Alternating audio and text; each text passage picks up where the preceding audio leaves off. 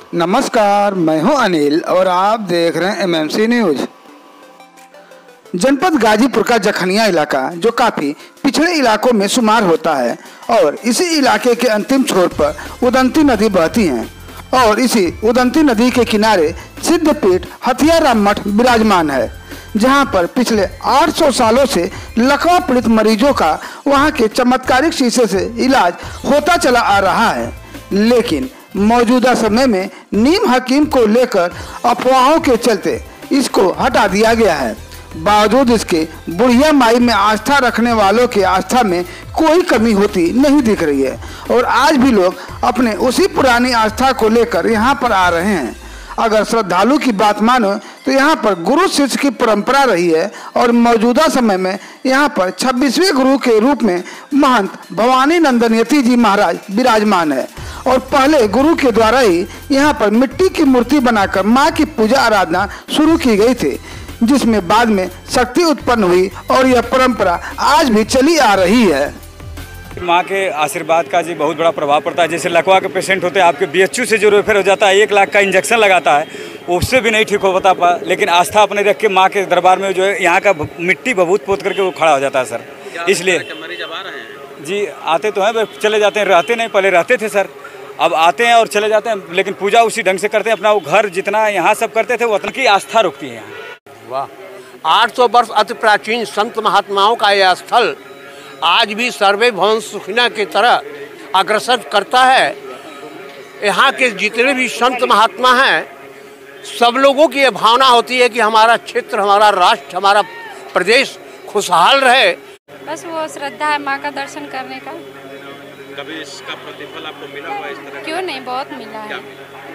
मैं शुरू से ही यहाँ पे आती हूँ मैं छोटी ही तब से मेरे माँ बाप यहाँ पे आते जाते हैं। कोई आपकी मनोकामना रही हो जो पूर्ण की हो नहीं बहुत पूरा हुआ। यहाँ आने पर आपको बस दर्शन करने के लिए आई थी।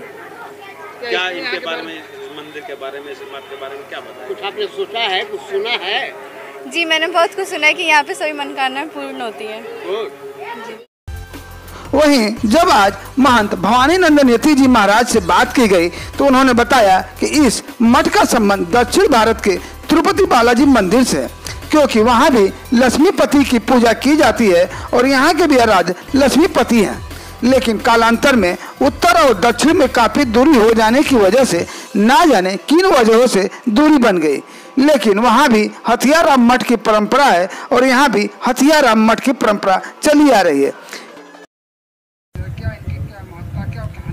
बुढ़िया गाँव में बोलते हैं माई भी गाँव में बोलते हैं। ग्रामीण अंचल की भाषा है बुढ़िया भी और माई भी। अगर हम इसे शुद्ध परिष्कृत संस्कृत भाषा में जाने तो बूढ़े को वृद्ध कहते हैं और माई को माँ कहते हैं। तो वृद्ध माता संस्कृत में इसका शुद्ध परिणूप है जो पुराणों में वर्णन है। और ग्रामीण अंचलों में उस वृद्ध माता न कह करके लोग सीधे सीधे बुढ़िया माई कहते हैं। लगभग हम लोग 800 वर्षों का इतिहास इसका जानते हैं। जिसके हमारे यहाँ प्रमाण मिलते हैं कि 800 वर्षों पहले किसी गुरु ने यहाँ पर स्थापित किया था। नदी का तट है और पुराणों में वर्णन है तो तस्मिन पुलने देव्या, कृत्वा मूर्ति मही मही मरणा चकुतुस्तस्या पुष्प धूपाग्नि तर्पण ये यानी नदी के पवित्र तट पर बैठकर मृणमयी मूर्ति बनाकर ऋषियों ने आराधना की है और फिर लोक कल्याण की भावना से उन्होंने उसमें से शक्ति को प्रकट किया। मान्यता लकवा प्रेत का प्रेत जो बहुत बहुत बड़ी और बहुत प्राचीन मान्यता है कि लकवा के लिए विशेष रूप से यहाँ इस देवी पीठ पर आकर के लोगों को लाखों लोगों को लाभ मिला है।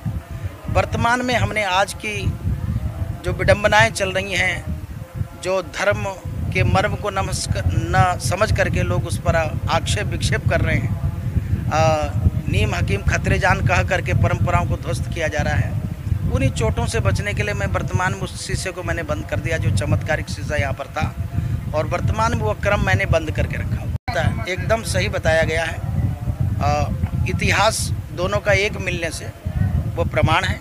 साथ ही साथ उनकी आराधना परंपरा और मेरी आराधना परंपरा में कोई अंतर नहीं है। यानी मेरे भी यहाँ कुल देवता लक्ष्मी नारायण है उनके भी लक्ष्मी नारायण हैं। तिरु नाम लक्ष्मी का है और पति को आप समझते हैं। तिरुपति और लक्ष्मीपति शब्द में कोई अंतर नहीं है। साउथ इंडियन लोग उसे तिरु कहते हैं, हम उसे लक्ष्मी कहते हैं। तो लक्ष्मीपति वो भी हैं, लक्ष्मीपति मेरे पास भी हैं। हथियाराम बाबा वहाँ भी थे, हथियाराम बाबा यहाँ भी हैं। हमारा इतिहास भी एक है, सब कुछ एक है। पर समय सीमाओं को ध्यान में रखते हैं, न जाने कौन सी विडम्बना उत्पन्न हुई होगी, जब ये थोड़ा सा बंटवारा हुआ आपस में। और थोड़ा दूरी के कारण से मुझे लगता है कि भाषा और दूरी नॉर्थ और साउथ का चक्कर, मुझे लगता है ऐसा रहा कि कभी काफ़ी अंतराल हो।